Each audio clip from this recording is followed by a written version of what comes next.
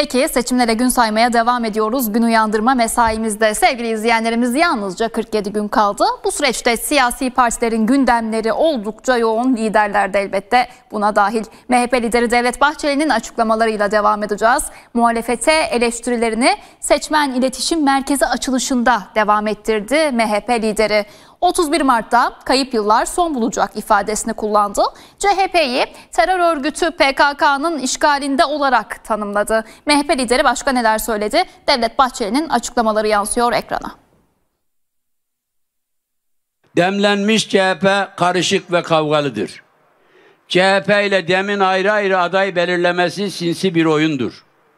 Çünkü CHP demek dem demektir. Gündeminde DEM Parti'nin seçime kendi adaylarıyla girme kararı, hedefinde ise yine Cumhuriyet Halk Partisi vardı. Ana muhalefetin terör örgütleriyle kol kola olduğunu söyledi. Bugünkü CHP yönetimi zillete düşmüştür.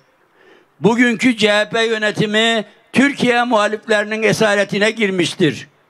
Bugünkü CHP yönetimi PKK'nın eline geçmiştir. Ankara'da Milliyetçi Hareket Partisi Seçmen İletişim Merkezi açılış töreninde konuştu Genel Başkan Devlet Bahçeli. Cumhur İttifakı'nın yerel seçimde sandıktan zaferle çıkacağını vurguladı. 31 Mart 2019 tarihinden bu yana maşeri vicdanda bir izdırap halini alan kayıp yıllar Allah'ın izniyle son bulacaktır. MHP lideri eleştiri oklarını Ankara Büyükşehir Belediye Başkanı Mansur Yavaş'a yöneltti.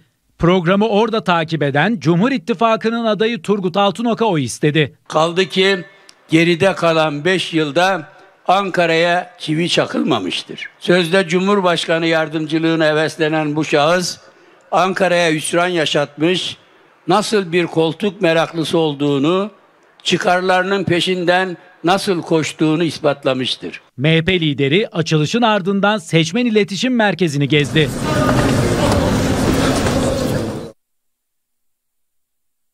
Ankara Büyükşehir Belediye Başkanı Mansur Yavaş görevi süresince Ankara'da oy versin vermesin kimseyi ayırmadıklarını söyledi. Proje yapıyorum diye parayı çöpe atmadım ifadesini kullandı.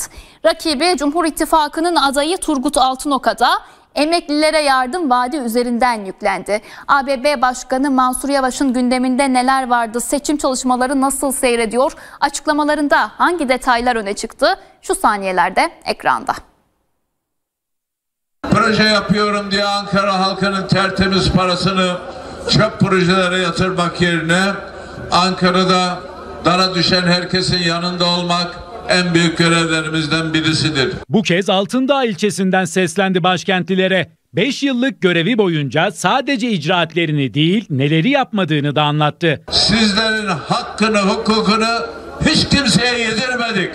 Bir Allah'ın kulu oy vermedik diye bizi ayırdı diyemez. Gururla söylüyorum ki 5 yıldır daha benim bir tek personelim savcılık yüzü görmedi. Ankara Büyükşehir Belediye Başkanı Mansur Yavaş seçim çalışmalarını haftanın son gününde de devam etti. Altındağ Seçim Koordinasyon Merkezi açılışında konuştu. Cumhur İttifakı'nın iki adayı rakibi Turgut Altınok ve Murat Kurum'a göndermede bulundu. Ankara Büyükşehir Belediyesi 31 bin emekliye düzenli şekilde destek alıyor. Başka yok. Biz bunu söyleyince birdenbire akıllarına geldi. İstanbul'daki aday 2000 lira vereceğim. Ankara'daki 5000 lira vereceğim demeye başladım.